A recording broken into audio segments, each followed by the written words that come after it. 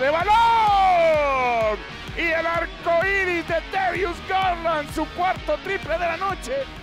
Welcome to the Wine and Gold Show, presented by Betway. Thank you for joining us on Bally Sports Ohio.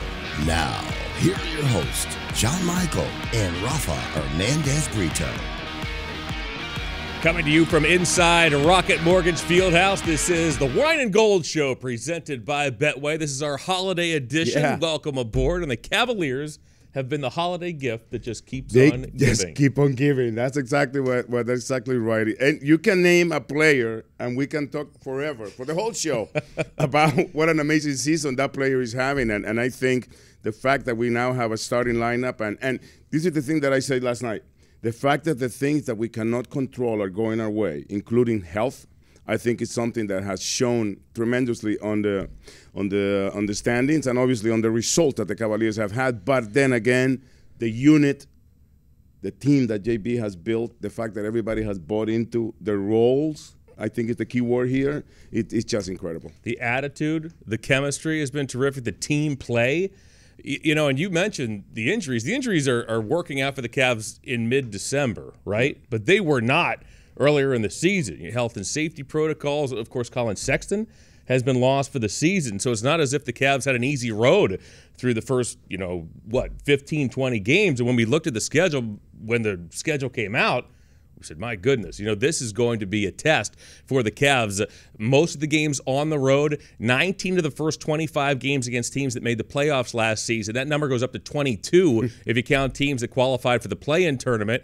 And the Cavs come out on the other side 17 and 12 midway through December. And really, that's, that's better than I think you could have asked for at the beginning of the season. Way better. And I always hated this statement, but now, especially what we went through the last couple of years, if the season ended tonight, oh, the Cavs will be playing at home in the first round because the victory against the Heat moved them up to fourth place in the standings. But then, you know, you mentioned the, the injuries. To me, everything started, John, with that amazing road trip that we had going out west. Even though that's when this, the injuries started because Kevin Love missed the last game against Charlotte, but the winning record in that five-game road trip is what really made everybody believe, not only outside of the stands, but in the team. I think that's when they bought. They already bought into what JB had told them all along. But I think that's when they realized that they had something special here, that they could build something special. a question when a team has a quick start is is this sustainable? You know, this gets asked all the time in the NBA. And when you look at the traits of what the Cavs have exhibited thus far, balanced scoring on the offensive end, the only team in the NBA that can boast eight players averaging double figures. It's really phenomenal when you think about it. Eight players averaging double figures, but on the other side of the ball, a defense that last season was bottom five, bottom six in terms of rating has been top five for the last few weeks. And it's been, I mean, you want to talk about the backbone of this team. Once again, in that Miami game to make it four in a row, eight of the last 10 victories for the Cavs. They hold the Heat under 100 once more. And, and we've seen this time and time and time again. It's been the defense that's the driving force for this basketball team. The, the defense feeds the Cavs offense. The defense feeds the energy. The defense feeds everything. And I think we saw it against the Heat when Jarrett Allen appeared on the court in the second quarter. It was a little moment when he scored 10 points, I think, in the in the second quarter, and it just everything exploded. But then again, you mentioned about the the, the guys diverging in double figures. We also one of three teams at the moment of this taping that have at least one 20 point scorer In- in, every game of the season. The other two, Brooklyn and Golden State. Mm, Golden State one or two, depending on which that which night you're looking at the standings, but both teams leading the conferences, and then the Cavs right there. Yeah, and that's through 29 games, as you mentioned. Throw on top of that, the Cavs in all 29 games have had four players in double figures and three starters in double figures in all 29. so again, balance score. What do you do if you're an opposing team? How do you game plan against this Cavs team? Because there isn't that player or players who you say, we stop this guy, we win the game. It hasn't been the case. I mean, Darius Garland playing at a very high level, Jarrett Allen at an all star level. And, and you can make that argument for Darius Garland as well at this juncture of the season.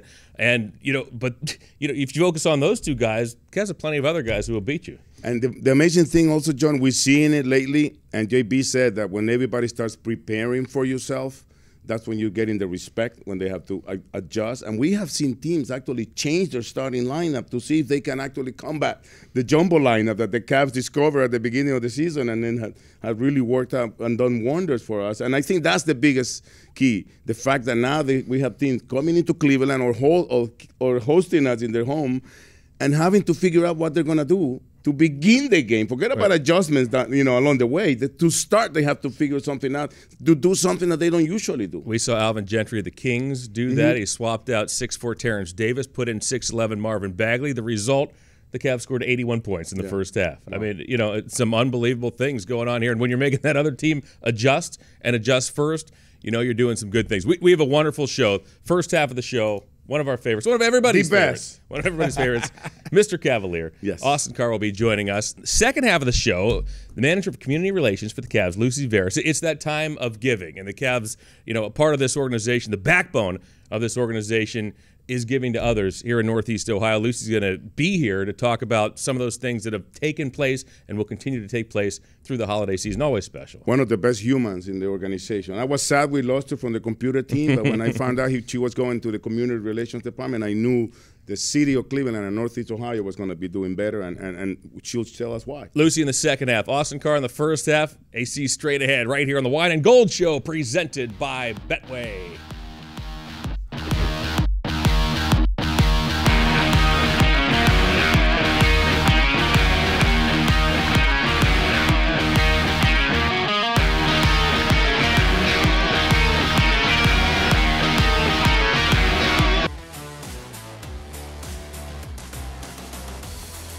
From the depths of Rocket Mortgage Fieldhouse, this is the Wine and Gold Show presented by Betway, and look who it is. They figured we don't see each other enough throughout the course yeah. of the season, so they thought, they thought we'd bring in. It is Mr. Cavalier. Austin Senor Cavalier. Always good to be with you guys. Good to have you on the show. AC, this has been a special start to the season yeah. for this Cavalier team. I'm going to start here. You were part of the, of course, the Miracle of Richfield team that mm-hmm. made so many people in this area fall in love not only with the Cavaliers – but also with the NBA. Mm-hmm. And you've said a number of times throughout the course of this season that this current Cavs team reminds you of that miracle team. In yes. what ways? Well, first of all, they genuinely seem to like each other. And that really, and, and, and regardless of how much you try to hide body language, if you don't like a guy, it shows up. you know, so you can tell they all like each other, and that's one other thing. Now, they've kind of bought into we don't have to have a guy scoring 30 points mm-hmm. a night to win. We can all do it together and win. And that is what we became, where we had we were getting 30 to 40 points off the bench. We were getting 50, at least 50 or more from the starters. And the, the, the one thing this team has that we didn't have – they got they get a 20 point score every night. Mm-hmm. and, and, we never got to that. I mean we got it but not on a consistent not basis on a consistent basis but we would still win because we played defense. At what point did you start to believe? At what point oh. throughout the course of that season did you look around that locker room and say we really have something special here yeah it, it took us about about right around all-star game mm-hmm. because what happens is when you start out like the Cavs started out, and we start out the same way at the bottom, and then all of a sudden you start beating teams, you start getting to the top where teams that you used to always look up to, you're starting to be them now. and it takes mentally, it takes a minute to get yourself right. That's us, you know. And once you get mentally in that frame of mind, now your confidence level goes up. Mm-hmm and and you've just played. You seem to just play. We just played tougher and tougher every night to the point where we could be down 20 and we still felt we could beat you. Senor Cavalier, you've done it all. You were the number one pick for the Cavs. You did everything that mm-hmm. there was to be done at the college level. You were part of uh, one of the most historic moments, not only for the Cavs, but in the NBA. But still, I would imagine that to this day, every night you sit there next to John, there's something that you gotta really enjoy about what we what we're watching here at Rock Rocket Mortgage Fieldhouse. Is there something that sticks out for, for you of what this team is doing on the court or off the court that you, you even you mm-hmm. say, man, that, that's that's really good. Yeah, well, what it is is how we are going against the grain. You know, this is a, a league of all small ball situations, and we are going a bold move until into tomorrow, or whatever that uh, Captain Kirk used to say. we got it. Yeah, we got it. We got it. But I mean, it, it, it's like we're doing things that you know, and and the only team that really scares me is Golden State because they play in space, and and and they, but we have mobile bigs. We just have what we have to get used to doing is doing what we do best as opposed to trying to keep up with other teams and what they do. Because once we learn how to use, what we're starting to do, our bigs better, because they pass well, high low passing, unbelievable.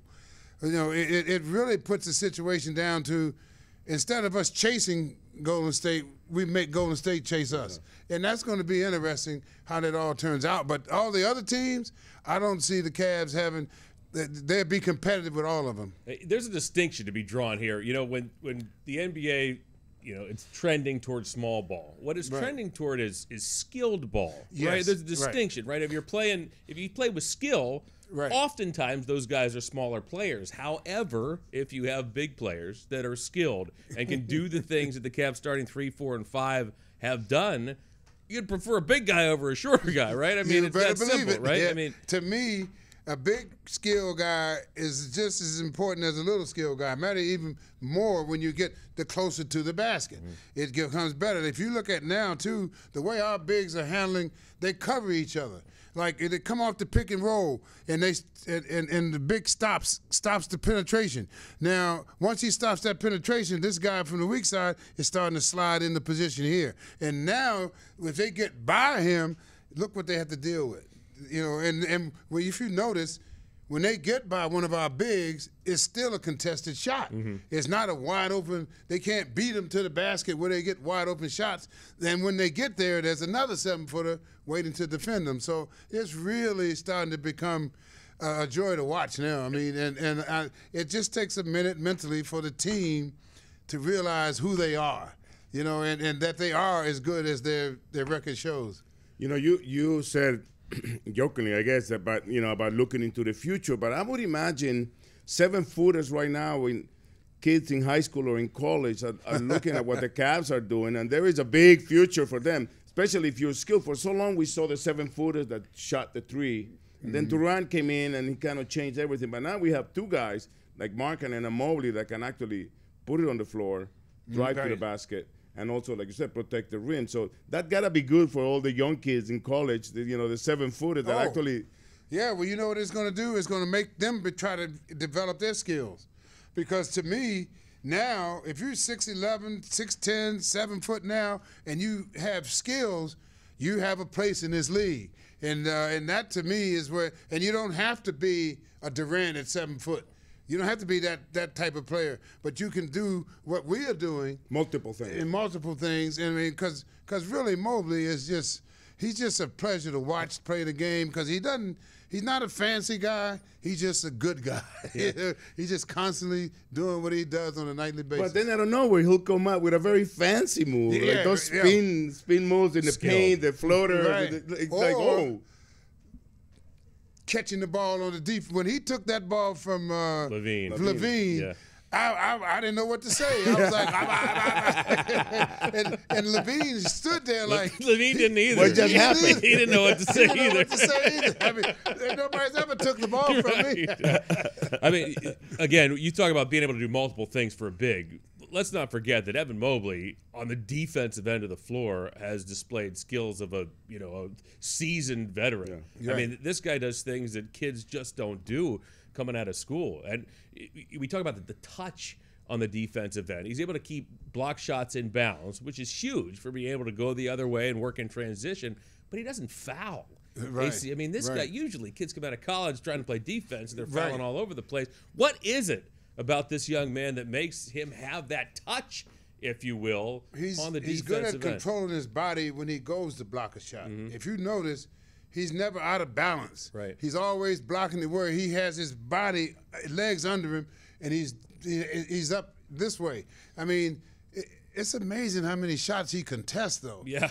For a Leads Every league. shot. He leads Every- the league. Right, right. I mean, and he does it like multiple times. He's like, I mean, imagine as he goes through his rookie year, man, next year he's going to be unbelievable because he'll be familiar with the surroundings. I mean, now I see how his school got to the situation they mm-hmm. got into. Because if you got him every night doing his thing, especially in the college level, you he's going to be the best player on the floor. But I think you still, at this point, you have to give a ton of credit to JB Bickerstaff and his staff for Oh, putting him in that position because I think he's benefited immensely also from the jumbo lineup because if he Yeah. needs help from somebody, Right. it's Markkanen and Allen Right. that are, that are giving him the help or he's doing the other way around. And speaking of JB Bickerstaff and the comparisons between Right. between the Miracle of Richfield and, Mm-hmm. and these Cavaliers, which still has no name, we got to come up with a name for the Cavaliers. We- We, we will after All Star break. Let's get him to the Yeah, All Star Okay, break. now my question is, do the players back with the Miracle of Richfield like Bill Fitch as much as the kids like JB Bickerstaff? No, I don't think it was the same. It was, big- it was, a, it The was relationship's a little different. the relationship was a little different because Coach Fitch was more of an average. He he he was he was always he always thought he had to keep on you, mm-hmm. press, press, press, to get the best out of you. Whereas JB does it the opposite. He presses you, but he presses you here, mm-hmm. and so it's a different feeling, you know. And and and so because Fitch would be like, man, man," you know, and, and you kind of did it out of. Uh, Fear. Fear, right? JB is different. Yeah, he's different. different. He's different. He's a little dip more diplomatic. yeah. He is. Just as effective, though. yeah, right. Just as effective. Yeah. We'll have more Austin Carr right after this on the Wine and Gold Show, presented by Betway.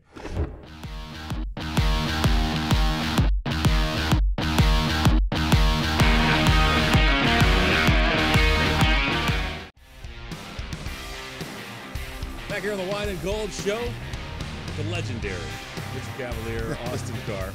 Hey, see, I- That, that this- just means you're old. no, not in your case. Not in your case. It does not. This is our holiday show, Mm-hmm. and I asked you on the air the other day about the holidays and whether you were getting ready, and your mood turned depressed, which upset me, and I'm sorry that I did that. So I we were supposed to talk holidays here, and and I'm almost afraid to do it now. Uh, no, no, no, no. Uh, uh, Uh, no I, I, I've, I've relaxed now. The- the- I understand. I understand what my problem is now. The holiday shopping is going better, or you've planned it out, you've mapped well, at it least out. have a list now. you have a list. So. I'm gonna start executing my list as of today. okay. So you, do you actually go out and buy things, or you give out like gift I give cards? gift cards, Yeah. but I got to go. I still have to go get them though. Right. You know? So I used to try to go out and buy stuff, but the, the look that I got tired of getting was. Oh hi, yeah, it's all Thank right. I you. like it. Thank you. You know, but it's got half smile. I said, no, no. Yeah, where's no. the gift receipt? It's like thank you. The right. So now I give them gift certificates, and what I found out about that is they go get what they want, Yeah. and they feel better about the whole situation. Plus, they always think of me because I gave gave them the opportunity to get it. So Perfect. It and my grandkids, they really don't care. you know, they just want something that they can say they can play with. Yeah. You know, and they, they do a good job with that too. That's where I was going next. You're a proud grandpa once again. Yes. Congratulations. Yes, my son but is about three months old now, Uh-huh. Alex Xavier, and uh, he is uh, quite. Uh, he's growing fast, man. He's like he's growing up quick. You know, his his diapers are getting bigger now, and everything's getting bigger. I, I haven't gotten into changing Yeah, yet. yeah, that's it, yeah. I, am gonna let them handle that That's for a right. while. You've done that. You did You're that beyond that, enough. You man. did that long enough. That's- How many grandkids do you have now? Three. Three. Yeah. Any of them picking up a basketball yet, or Yeah, my my grandson Austin, he's uh, starting to. He likes the oh, sport. you got the pressure of the He- name? got- man. yeah, yeah, that's the problem. Yeah, yeah. How old? He's 8 and uh, but he loves all sports. Yeah. he can play base. He's very baseball. I like because that was my favorite one too. But uh, he's he's a baseball player, I, I think. But he likes basketball. At first, he was a little indifferent to it, and now he's starting to understand how to dribble and how to do all that. So. it- It's fun watching him. Fun watching him. All you gotta do is put a couple of videos of you at Notre Dame or Yeah, here with the Cavs. shoot and up. He'll jump into it. You know, because usually talent, and I, I know, I know in my case, jumps a, a generation because my father is a great musician, and we used to have all kinds of instruments at the house, and nobody, none of my, none of my brothers and sisters. But now, our my my niece Mia is a really great musician. Oh yeah. and Marcelino as well. He plays the piano. So my father is in heaven, just going to concerts and going to, going to watch the recital. So I hope you get a, you know, like another number one pick. Yeah. from, from oh, your, from your third Oh, generation. Boy, would that be something? Oh, well, again, I mentioned your mother and father. I want to thank him. I want to congratulate him again for 61, right? 61st 61 years. I wedding said, anniversary. Yeah. Way to go. And they were they were happy to they were they always watch you guys and they you know like, listen to me they're like oh we're watching John and AC. oh, Ralph, I had to ask you this question. Uh-huh. During the games, they they show they, they they show you. They don't show you, but they that your voice is there, and sounds like you're about ready to jump off.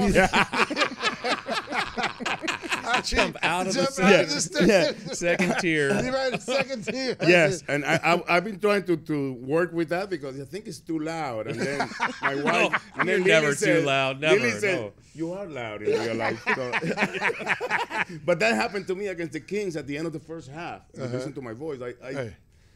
I don't I don't think I was the only one going crazy in that No. in the last Right. five minutes of the Right. half. Oh man, You had that was- 81 points to call. That was I know, but like at the, at the end, the Jerry triple, the alley oop to Mobley, the You're block right. by Oh. Allen, the triple by. I mean, was amazing. It was just they just Yeah. kept coming, right? Yeah. So yes, I, I do go a little crazy, but that's why I think they put me in the third row just in case I jump, I land on somebody. land on somebody. What's been most surprising to you, AC? The offense or the defense? We've seen those offensive explosions out of this team. We talked about the balance scoring. Eight players, an unheard of eight players in double figures, a third of the way through the season. But a defense that last season was ranked bottom five, bottom six in the NBA Mm-hmm. has been top five for about a month now.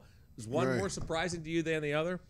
You know, when I think about it, they kind of rise together because they both were horrible.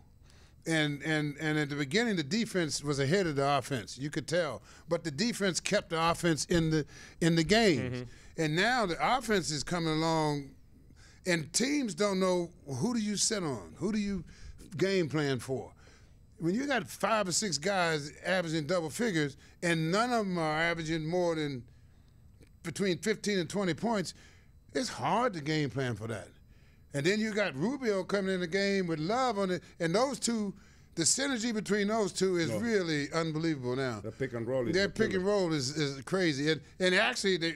I don't want to say give it away, but they do the same thing every time, but they just can't defend Don't it. They tell on the other video, they kid. watch it. But I wanted to ask you about that because one of the key things that, that JB had mentioned is roles, right? And and it Yes. seems so simple and it makes so much sense. Everybody buys into the roles they're Right. given, do it at the best of your ability, and everything will be wonderful. Obviously, Right. it's not as it's easy, it's easier said than done. That, but my question is, how how difficult? I know you were always a starter, but Right. how difficult it is for a player to accept just com- his role coming off the Oh, yeah. bench, even though he could be a starter, and and, and still make it work.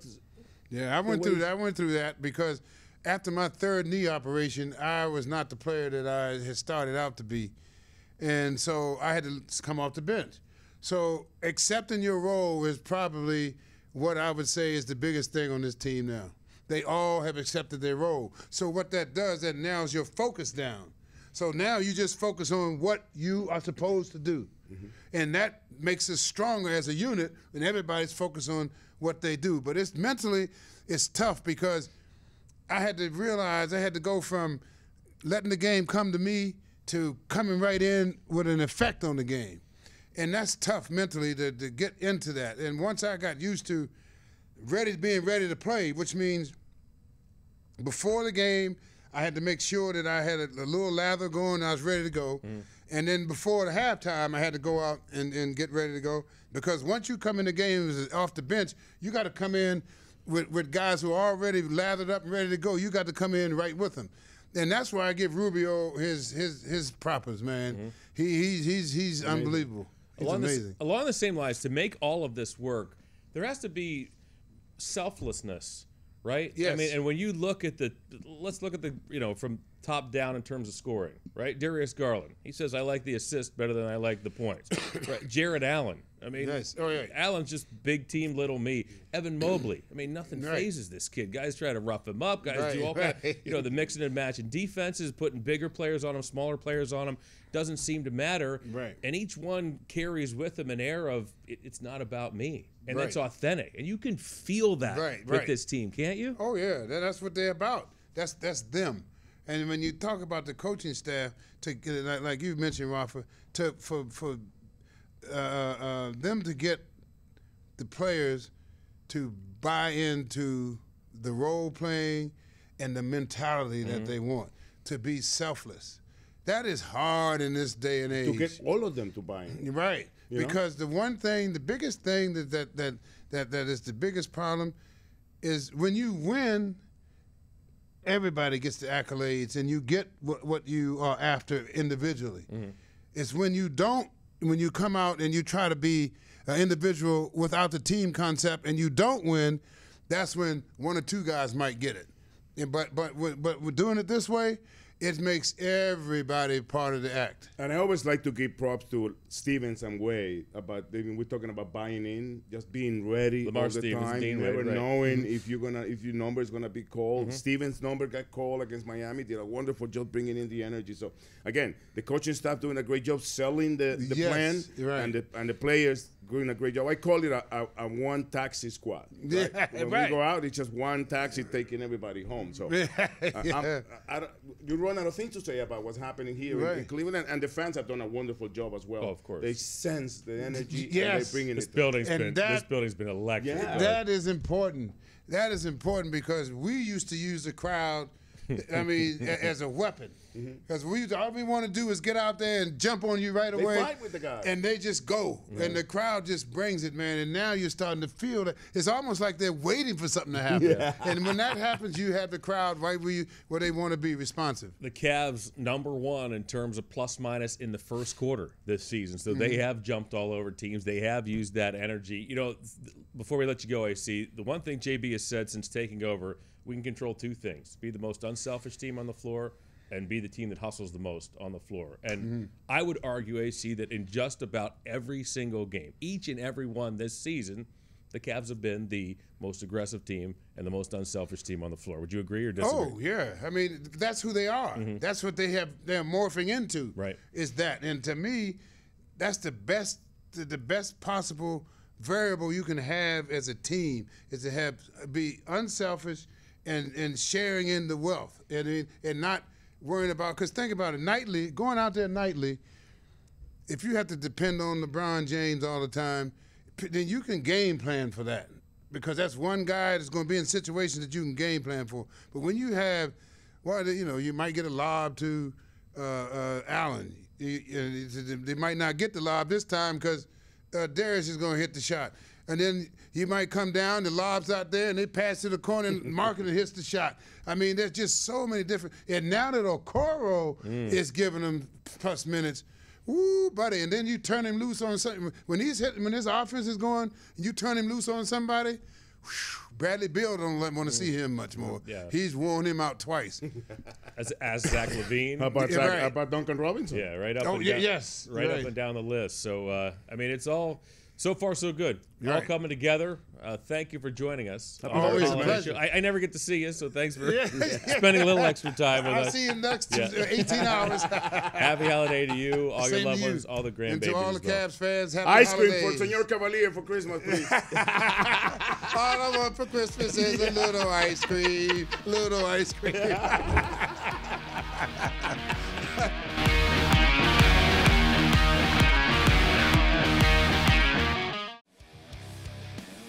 The best holiday wishes from all of us here at the Wine and Gold Show, presented by Betway. Speaking of the holidays, during the week of Thanksgiving, Evan Mobley, Isaac Okoro, and Lamar Stevens joined Cavs staff and members of Boys Hope, Girls Hope to pack up all the items needed for 100 families to enjoy a Thanksgiving meal. Members of the Powerhouse Dance Team were on hand. They helped pass out the food and some Cavs souvenirs. This event was part of the Cavs Season of Giving, presented by Oswald. Cavs in the Community is brought to you by Discount Drug Mart. Speaking of Cavs in the communities, the manager of community relations for the Cavs, Lucy Veras, is up next. She's going to highlight the team's season of giving. That's straight ahead, right here on the Wine and Gold Show, presented by Betway.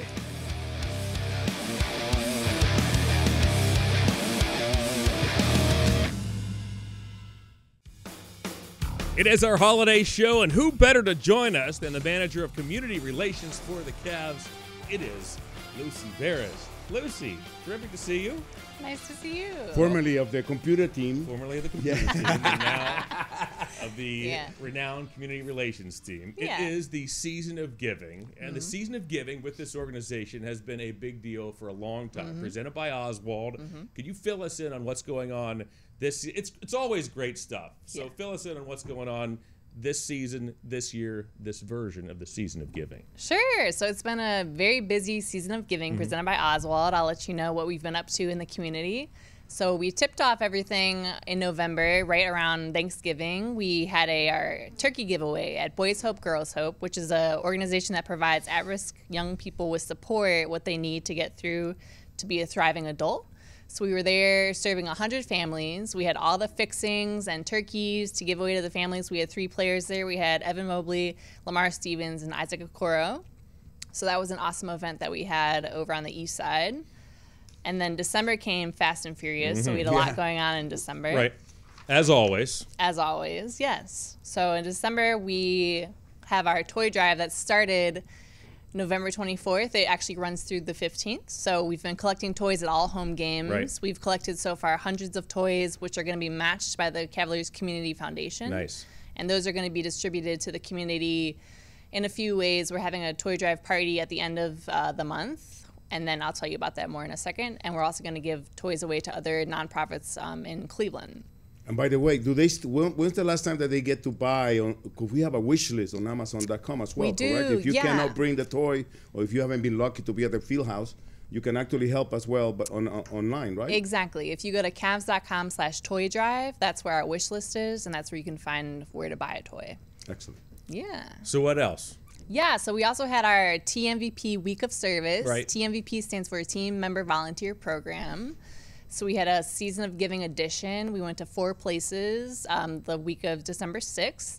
We started off with Rafa was there. We went to Habitat for Humanity Restore. Sure, that was wonderful. Do you want to tell us what It you was great. You know what it is? I, first of all, I didn't even know the, I didn't Rafa even know part. about the store. Yeah. And Dave Dombrowski, our, our, our head of broadcasting, Mm-hmm. our boss, was with me, and it is it's a store. It's like a mini Home Depot, and they get donations from all kinds of people, Right. and it, it really sells a lot of good stuff at Mm-hmm. great prices, right?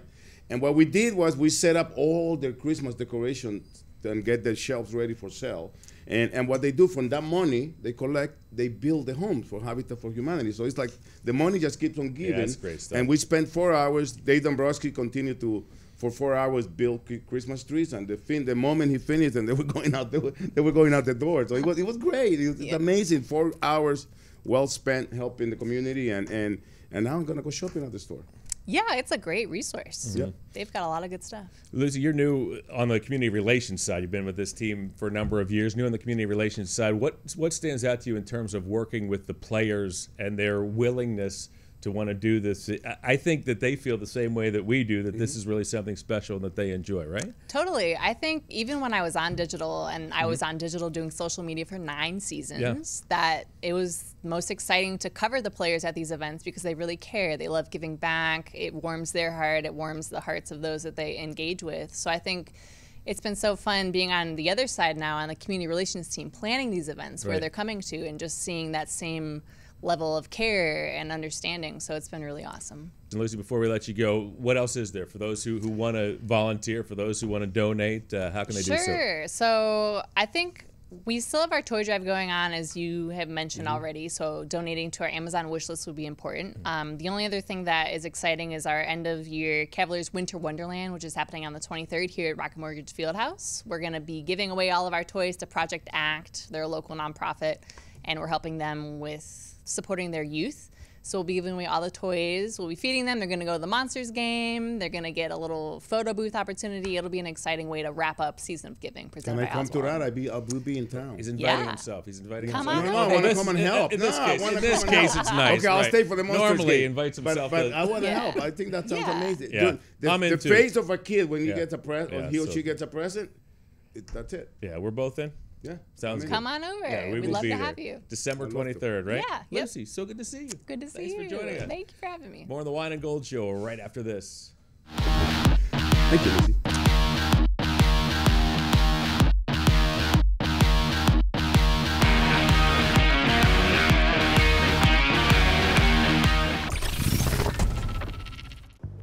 Love basketball because it gives you as much as you give it. So you put the work in and you see yourself getting better. So that's the best part about being a basketball player. I would say fans, because you know they're the ones who, who are making uh, this game even better. You know, with them we're even stronger. Allen, oh, the exclamation point! What I love most about basketball is there's always an opportunity to improve and just learn about the sport. The fact that you can get better every day. So, I mean, like whether it be film, uh, whether it be mentally, uh, physically, you can work on your body, but it's just an amazing game that you know you can come in every day and get better at something. Why do I love basketball? Um, I love I love just the beauty of the game. Um, the, the competition. I love the, the, the, grit and the toughness you have to play with, and also the IQ of the game, the, the, the strategy, the thinking part of the game is, is big for me. It's fun just to compete against other great talents, and then just bringing talent to one team is really fun, and uh, just buying in and just collectively winning games, and having fun on the floor together. Steers for Mobley, yes sir! Basketball has done so much for me, um, made me travel around the world. Uh, now I'm in the NBA. Um, it's just brought me closer to so many other people that I wouldn't have been. I love basketball because I love to compete. It's something that my dad, he put a basketball in my hand when I was three years old, and ever since then I always had a love for it, and I always wanted to be the best I can be. Uh, I want to be the best Collin Sexton. Sexton now. You know, it's, it's in my bones. It's in our blood. You know, obviously my dad being a coach, uh, it was something that we grew up on. Uh, you know, ever since I can remember, it was going to practices, it was going to games, and it was an opportunity for our family to come together and be around one another. So, uh, you know, from childhood memories uh, of us being together and spending time as a family and rooting for one another, uh, that's the first thing that I can remember. And it's given me that love, and hopefully I'm passing that same feeling on to my kids. It is a likable bunch this season, isn't All it? All of them. All of them. It's, it's been refreshing. You know, Cedi Osman says, "Why does he like basketball?" The fans, the fans are liking this version of the Cavaliers. Yeah. I'm telling you, the field house has been amazing in this season. It's been and, fun. And the fact, the thing that I love the most is that it has been natural. It is there's nothing recorded. There's nothing. They sense Nothing the, forced, right. The, the the the effort in in a unit. They sense the, the greatness that we're watching. They sense what we're building here. And obviously, they, they, they've been with us since this whole process started. So they actually seeing the fruits with us.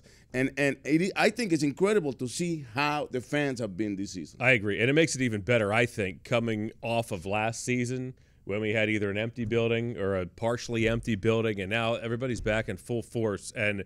They're getting rewarded for it. I mean, it's just been a joy to watch this team play through the first 29 games of the season. Again, we talked about the rough schedule, and nothing seems to bother these guys. And you can't, if you think back on the first 29 games, there's not a single game where you say, "Mm, they just didn't have it tonight. You know what I mean? And throughout the course of an 82 Which game is a season, normal thing. you're- You're going to have that a handful of times, no matter what kind of team you have, whether you're at the top of the standings, at the bottom of the standings. Mm-hmm. You know, fingers crossed. So far, so good. Uh, We haven't seen that one time this year. But again, it goes back to everything that, that JB Bickerstaff put on the table from the beginning of training camp. You know, that we're going to be a competitive team, that we're going to do what we do best, and we're just going to go out there and compete. It's not going to work every night, right?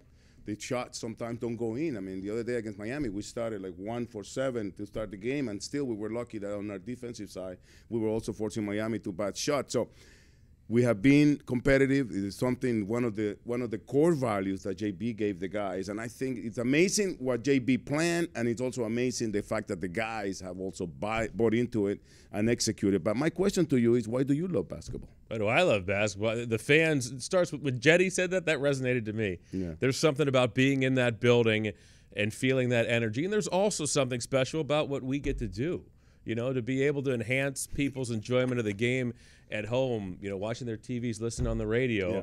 That's, I mean, that's a big, that's big to me. That's important to me. That's special to me. That's something that I've always enjoyed about this profession to be able to help people unwind after they worked hard all day. Now they want to sit back and relax a little bit, and we we can have a, just a small part in helping folks to do that. I think it's incredible. I love it because out of all the sports I work, it's the only one that I played, and of course, not even close at the level that I've been working it.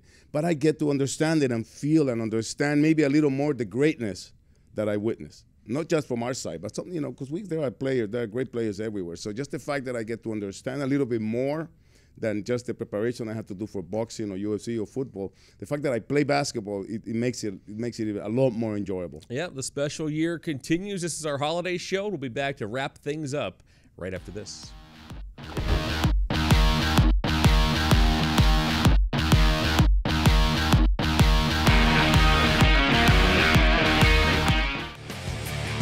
Close up shop on the Wine and Gold Show. I think it's worth noting before we say goodbye a huge milestone taking place tonight.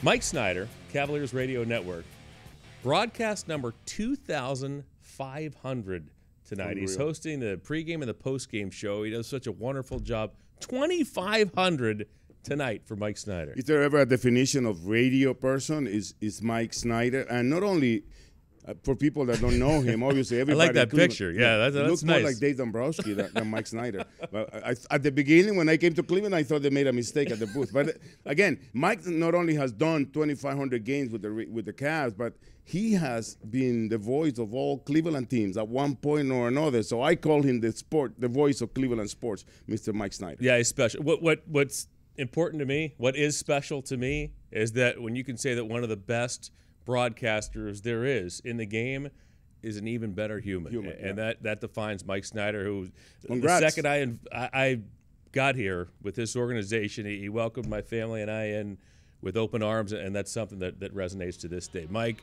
awesome stuff.